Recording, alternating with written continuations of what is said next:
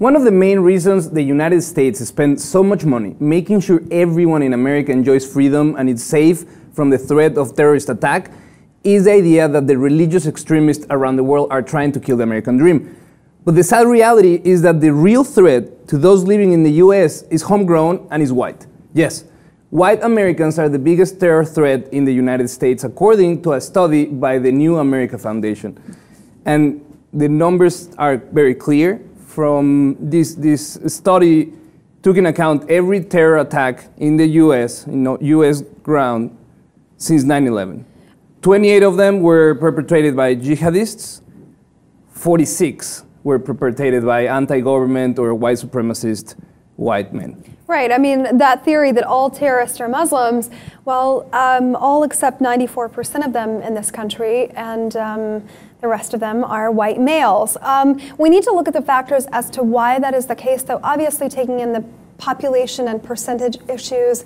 Um, they're the largest population here so far. Um, white terrorists, though, they tend to be, you know, and this is one study that, that was asking the question why. In some cases, um, they're alcoholics, they're loners, they have diagnosable mental, mental illness. There are a lot of factors where they're not necessarily part of a global agenda like you would think of when, when you think of the word terrorist. They tend to be isolated cases of, of men on their own, you know, committing these acts. Actually, there's some that will disagree with that idea, and let me tell you why. Because if we track history, there's this, this, this persona in the white supremacist world that is key to kind of debunk that idea of the lone wolfer. His name, um, Tom Metzinger, and he's the founder of an American white supremacist group called the White Aryan Resistance. And after being in different ranks of the KKK and then dabbling in, on elected um, in elections to become a, an elected official,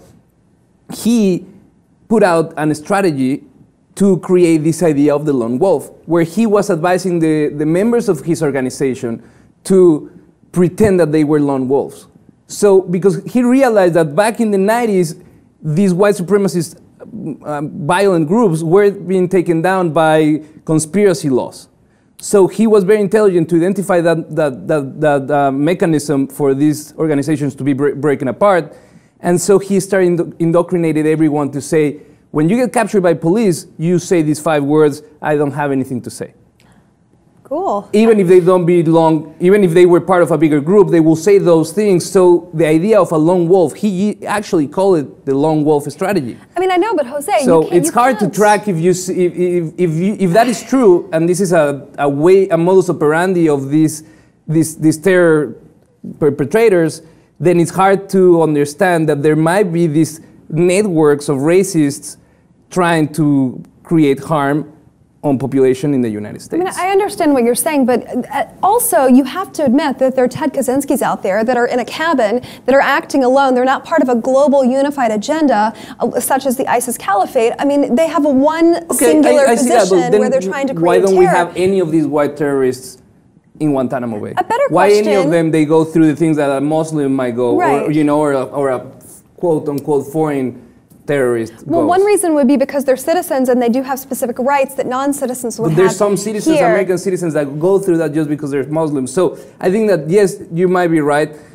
There might be incidents where there's mental health, but at the same time, we can't just do that as a base ground for. I'm with you. I you think know, it's racist. Judging everybody else. At the same time, though, more importantly, we should start calling these white terrorists terrorists instead I agree. of that yep. would that would change a lot if we could just change the verbiage as, that we used to describe them. Perhaps people would start to see what they really are, as opposed to just lone gunmen. I think so. I think it's very important for us not to go ahead and perpetrate the idea that all of these are lonely guys that just go nuts and start killing people. There has to be something deeper because it's something that is happening all of the time. And it's been happening for centuries, but it's just recently that we call it terrorism. Before it was, you know, a status quo. Let us know how you feel, and please subscribe to the Lip TV 2.